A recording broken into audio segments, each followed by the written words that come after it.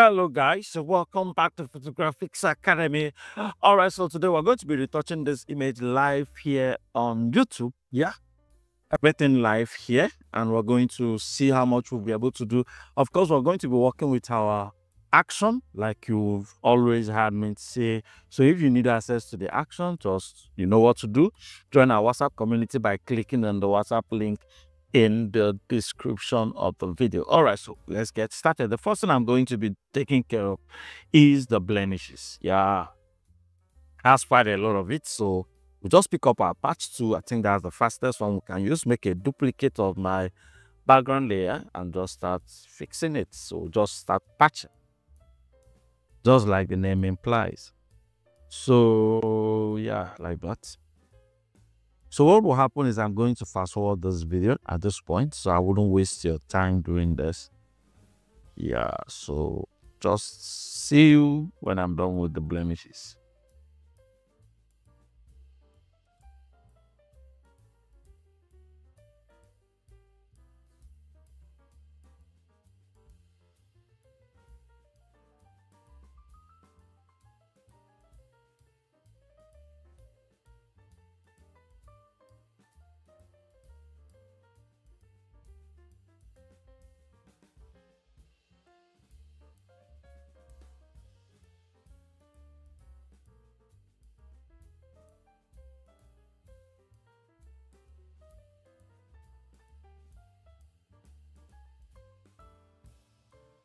All right, so our blemishes are almost all done. Let me show you the before and the after. This is the before here. This is the after. This is the before. This is the after. I think this is one of the most uh, intensive blemishes I've removed so far. Yeah, look at that. The before and the after. So the rest we can fix that using our uh, frequency separation. So to move forward, we'll go straight to our frequency separation and we're going to play our frequency separation action looking at it over here. So I'm going to be working with somewhere around four or five. So let me see how this handles the skin. Five wouldn't be a bad place to stay. So let's just do five. Press enter. We're good to go. So our, our setup is done. We'll just go to our low frequency, pick up our mixer brush so you can decide to turn off your high frequency so you can see exactly what you're doing. So I'll just focus on smoothing the skin in my low frequency, knowing fully well that my high frequency is properly protected. So just keep going like this. Look at this area, slightly like this. Beautiful. So we'll go up again. Look at this area here. Okay, got the forehead.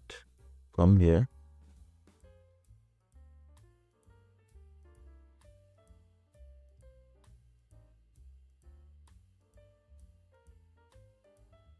So thing you notice that I'm following the shape of each of the areas. Look at that area. I'm not painting straight. I'm painting from this angle because I wouldn't want to lose that shadow right there. The moment you start losing those structures, the image will start looking unrealistic.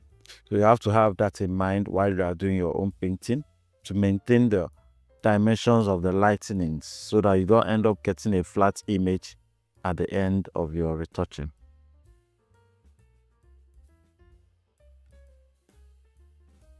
Right so look at that collarbone how to make it look good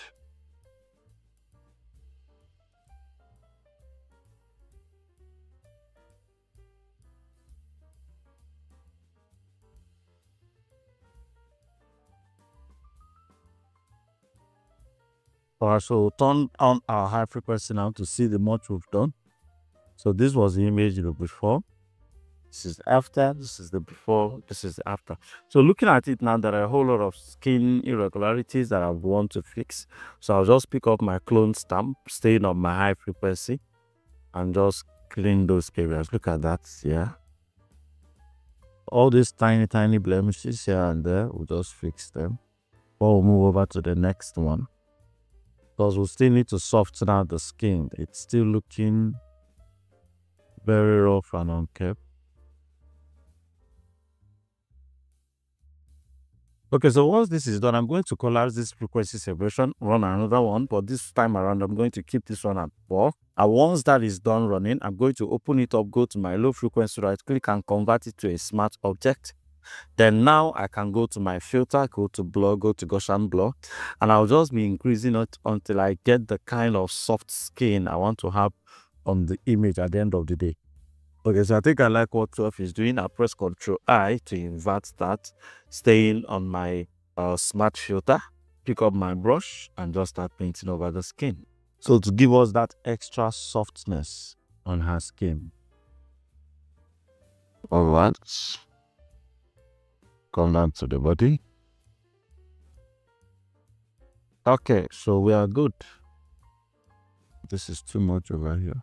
So I'm going to uh, generally drop down the capacity of this second frequency separation just a little.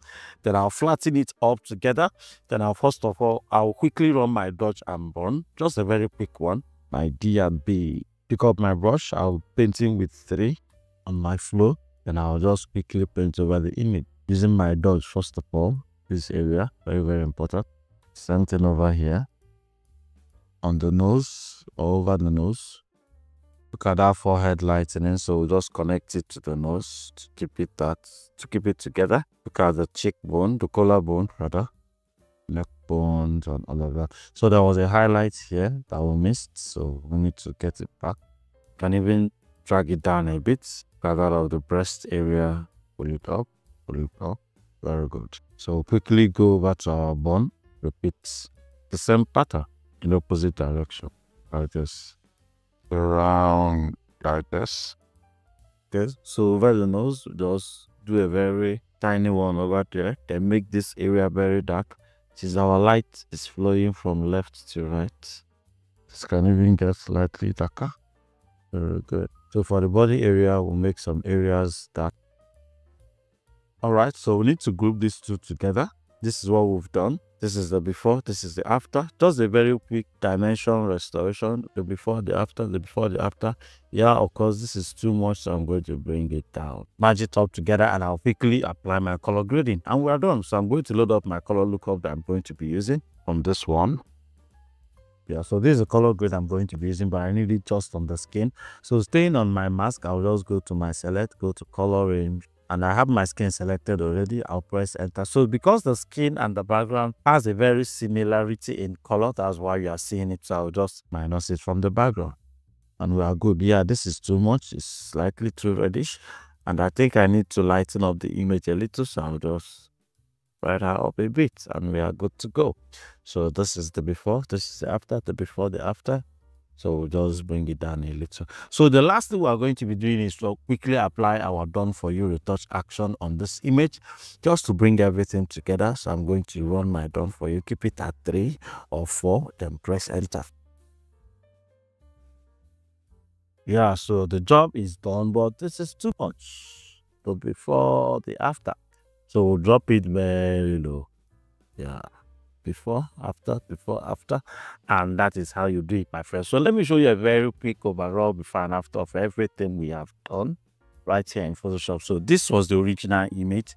This is the retouched image. This is the original image. This is the retouched image.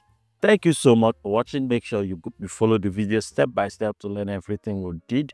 And also uh, subscribe to our YouTube channel. When you subscribe, also do make sure you turn on your notification bell so that whenever I drop a new video, you will not get to miss it. Thank you so much. See you on the next one.